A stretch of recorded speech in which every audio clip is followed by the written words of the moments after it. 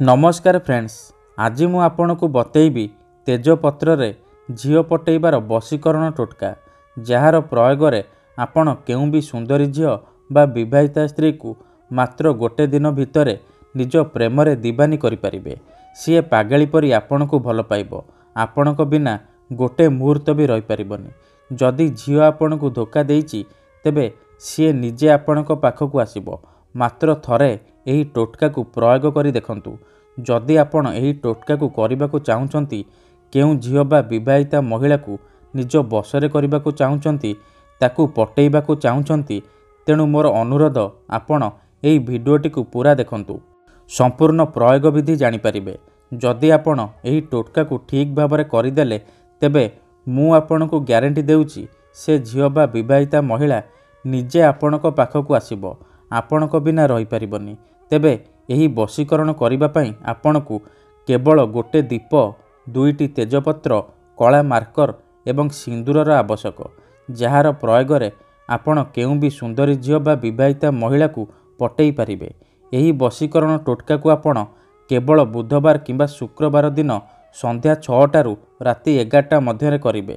ଗାଧେଇ ସଫା ବସ୍ତ୍ର ପିନ୍ଧି କରିବେ। ସୁନସାନ ଜାଗାରେ କରିବେ। ଯେଉଁଠାରେ ଆପଣଙ୍କୁ କେହି ଦେଖିବେନି କିମ୍ବା ଅଧାରୁ ଡାକିବେନି ତେବେ ପ୍ରଥମେ ଆପଣ କ'ଣ କରିବେ? ଦୀପ ଜଳେଇକି ନିଜ ସାମ୍ନାରେ ରଖିବେ। ତାପରେ ଗୋଟେ ତେଜପତ୍ର ଉପରେ ସେ ଝିଅ ବା ମହିଳାର ନାମ ପ୍ଲସ୍ ଆପଣଙ୍କର ନାମ ଲେଖିବେ।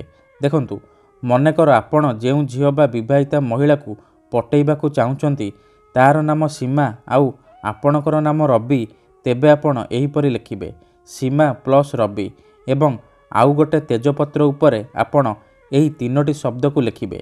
ଓମ୍ ତ୍ରିଂ ତ୍ରିଂ ନମ।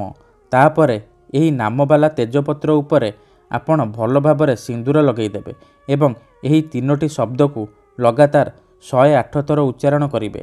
ଓମ୍ ତ୍ରିଂ ତ୍ରିଂ ନମ। ଓମ୍ ତ୍ରିଂ ତ୍ରିଂ ନମ।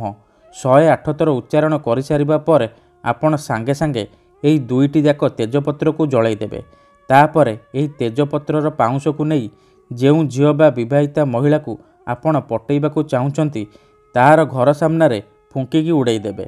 ଫ୍ରେଣ୍ଡସ୍ ଏହି ଟୋଟକାକୁ କରିବାର ମାତ୍ର ଗୋଟେ ଦିନ ଭିତରେ ମୁଁ ଆପଣଙ୍କୁ ଗ୍ୟାରେଣ୍ଟି ଦେଉଛି ସେ ଝିଅ ବା ମହିଳା ଆପଣଙ୍କୁ ଭଲ ପାଇବାରେ ଲାଗିବ ଆପଣଙ୍କ ସହିତ କଥା ହେବାରେ ଲାଗିବ ଏବଂ ନିଜେ ଆସି ଆପଣଙ୍କୁ ଭଲ ପାଉଛି ବୋଲି କହିବ।